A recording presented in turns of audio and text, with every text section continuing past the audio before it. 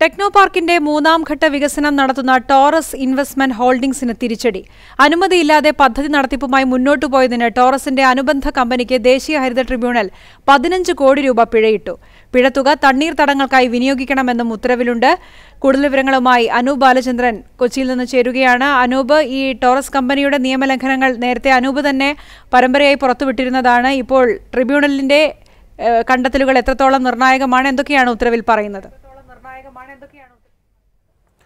പ്രതില Taurus investment ഹോൾഡിംഗ്സിന്റെ അനുബന്ധ കമ്പനിയായ ഡ്രാഗൺ സ്റ്റോൺ ഈ ടെക്നോപർക്ക് മൂന്നാം ഘട്ട മേഖലയിൽ ഒരു ഏഴ് ഏക്കറിൽ നിർമ്മാണത്തിനായിട്ടുള്ള നടപടികളുമായി മുന്നോട്ട് പോവുകയാണ്. അവർ ഒരു ലക്ഷത്തി മുപ്പത്തി മൂവായിരം ചതുരശ്ര മീറ്റർ നിർമ്മാണത്തിനാണ് അനുമതി വാങ്ങിയത്. എന്നാൽ അതിനോട് എക്സ്റ്റെൻഡ് ചെയ്തുകൊണ്ട് ഒരു ലക്ഷത്തി ഏകദേശം ഒരു ലക്ഷത്തി മുപ്പത്തി ആറായിരം ചതുരശ്ര മീറ്ററിന്റെ അധിക നിർമ്മാണത്തിനായുള്ള നടപടികളുമായി മുന്നോട്ട് പോയി. ഇതിന് പരിസ്ഥിതി അനുമതി ഇല്ലായിരുന്നെന്ന് ചൂണ്ടിക്കാട്ടി തോമസ് ലോറൻസ് എന്ന പരിസ്ഥിതി പ്രവർത്തകനാണ് ദേശീയ ഹരിത ട്രൈബ്യൂണലിനെ സമീപിച്ചത്.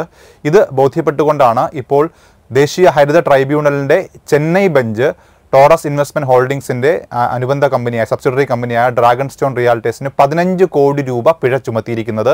ഈ പതിനഞ്ച് കോടി രൂപ തണ്ണീർത്തട തട പ്രവർത്തനങ്ങൾക്കായി വിനിയോഗിക്കണമെന്നാണ് നിർദ്ദേശിച്ചിട്ടുള്ളത്. മൂന്ന് മാസങ്ങൾക്കുള്ളിൽ ഈ തുക അടയ്ക്കണം. ഒപ്പം തന്നെ ഇവരുടെ പാരിസ്ഥിതിക ക്ലിയറൻസ് റദ്ദാക്കിയിരിക്കുകയാണ്. നിർമ്മാണങ്ങൾ മുന്നോട്ട് കൊണ്ടുപോകുന്നതിന് ഇനി അവർക്ക് പ്രതിസന്ധികളുണ്ട്. എന്തായാലും ഇക്കാര്യത്തിൽ രണ്ടായിരത്തി പത്തൊൻപതിൽ ഏഷ്യനെറ്റ് ന്യൂസ് ഈ ടെക്നോ പാർക്ക് മൂന്നാം ഘട്ട മേഖലയിലെ തണ്ണീർത്തടങ്ങളടക്കം നികത്തിയുള്ള പരിസ്ഥിതിക്ക് ആഘാതമുണ്ടാക്കുന്ന പ്രവർത്തനങ്ങളെക്കുറിച്ച് റിപ്പോർട്ട് ചെയ്തിരുന്നു. അന്ന് സുപ്രീം കോടതിയുടെ സ്റ്റേയും ഈ നിർമ്മാണങ്ങൾക്കെതിരെ ഉണ്ടായിരുന്നു. എന്നാൽ പിന്നീട് സുപ്രീം കോടതി ഇവർക്ക് സ്റ്റേ നീക്കിയതിന്റെ അടിസ്ഥാനത്തിലാണ് നിർമ്മാണങ്ങളുമായി മുന്നോട്ട് പോയത്. എന്നാൽ വീണ്ടും ഇവരുടെ ഭാഗത്തുനിന്നുണ്ടായ ടോറസ് ഇൻവെസ്റ്റ്മെന്റ് ഹോൾഡിംഗ്സിന്റെ ഭാഗത്തുനിന്നുണ്ടായ ഡ്രാഗൺ സ്റ്റോൺ റിയാലിറ്റേഴ്സിന്റെ വീഴ്ചകളിൽ പതിനഞ്ച് കോടി രൂപ പിഴ ഈടാക്കിയിരിക്കുന്നത് വളരെ പ്രധാനം തന്നെയാണ്. ഇത് ടോറസ് ഇൻവെസ്റ്റ്മെന്റ് ഹോൾഡിംഗ്സിന്റെ പ്രതികരണം ഈ ഉത്തരവ് പരിശോധിച്ച ശേഷം തങ്ങൾ തുടർ നടപടി സ്വീകരിക്കും എന്നുള്ളതാണ്.